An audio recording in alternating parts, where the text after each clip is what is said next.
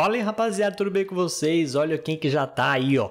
No combate, meus parceiros, a melhor cinza do jogo. Ó, o malucão de escudo já foi. A gente sabe que esses carinha de escudo é meio fortinho.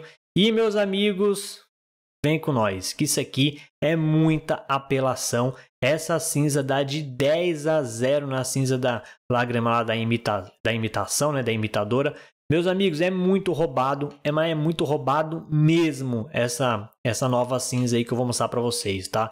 Que é a cinza da faca negra, pequena faca negra. Meus amigos, sem, sem, sem comentários, olha o estrago que ela faz, ela é muito rápida e ainda ela solta uns golpinhos. Enquanto ela vai, vai batendo em todo mundo aí, pode ter certeza que ela vai destruir tudo isso daí. Eu vou mostrar para vocês a localização, tá? Não consigo mostrar a localização porque está em combate, beleza. Então vamos ver aqui um pouquinho Tá, eu, eu, vou dar um corte no vídeo aí e eu já mostro a localização para vocês aí. Tive que dar uma afastada, rapaziada, porque senão não ia dar muito certo. Tá bom? Rapaziada, seguinte, a localização fica exatamente aqui no mapa, tá?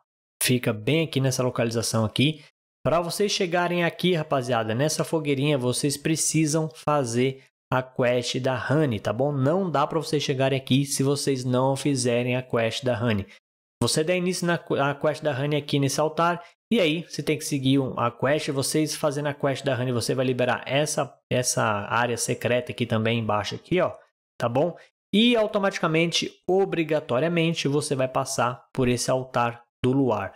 Não dá para você vir daqui para cá. Você pode ver que tem um até aparece, né, que tem um caminhozinho aqui, ó, mas não tem, porque esse aqui, esse vilarejo dos albináuricos, ele fica no andar de baixo desse altar do luar. O altar do luar é o andar mais alto aqui dessa montanha. Não dá para fazer nenhum tipo aí de bugzinho para poder subir aqui, beleza? Só mesmo fazendo a quest da Honey.